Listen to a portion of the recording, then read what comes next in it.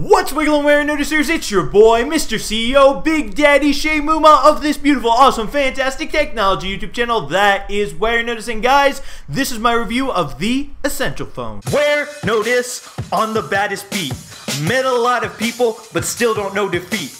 Running for the White House, but I am no athlete. Got Jordans on my feet and haters in retreat. Wait, I am the CEO. Competition robotic, him C3PO. So, folks, this is the essential phone. And like fine wine, cheese, or meat, it's grown better with age, which is something that I'd never thought I'd say about a smartphone.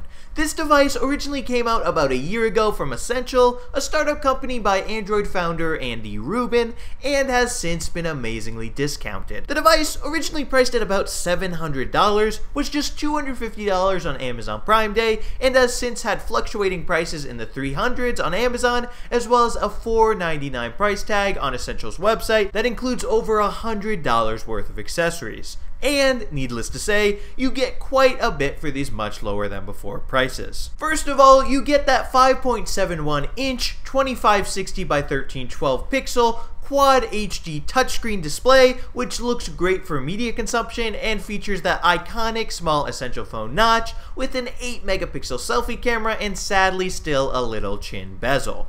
Its glass is Gorilla Glass 5, while the sides of the phone are titanium and the back is ceramic. The back of the phone houses a flash, dual rear 13 megapixel camera lenses, one color and the other monochrome, a fingerprint sensor, and two pins for attaching essentials, now $50 360 degree camera. On the right side of the phone we've got volume buttons and a power button, and then on the bottom side we've got a speaker grill, USB-C port, and the SIM card tray. But one thing that you won't notice anywhere on the phone is logos or writing of any kind, which helps it fit in with Essential's game plan of giving you what you need, or in other words, just the essentials, and thus keeping the hardware very minimalistic and simple.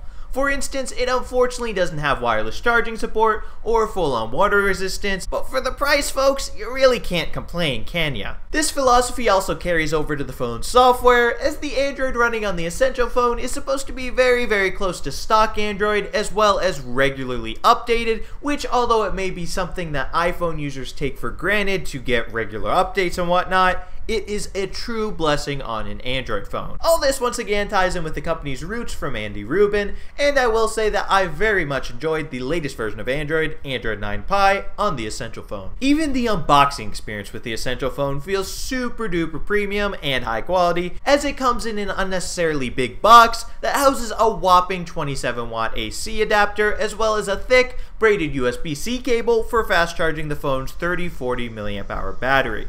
That cable, which even has a built-in strap for keeping it organized, and that AC adapter are so much better than what Apple includes with their $1,000 iPhones, so much so that it's pretty mind-boggling that they come included with this much less expensive Essential phone.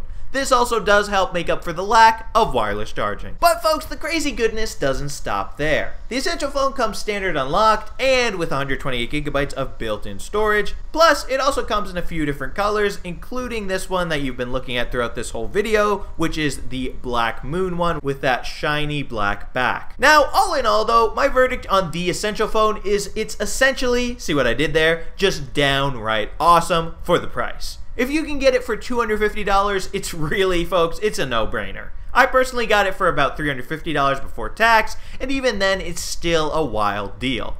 With that nearly bezel-less screen, those premium titanium and ceramic materials that the phone's made of, and Essential's commitment to giving you up-to-date and bloatware-free Android, and now also with that price to match all of those great things. Like I said earlier folks, it's 2018 now, and the Essential phone has just gotten better with time. And with that, that'll be all for this Warenotice review. So if you guys enjoyed this video, definitely be sure to smash that subscribe button and subscribe to the Warenotice Technology YouTube channel for more awesome technology videos just like this one. And with that, folks, thank you so much for watching, and thank you so much for subscribing. Warenotice out with a lot of phones, baby.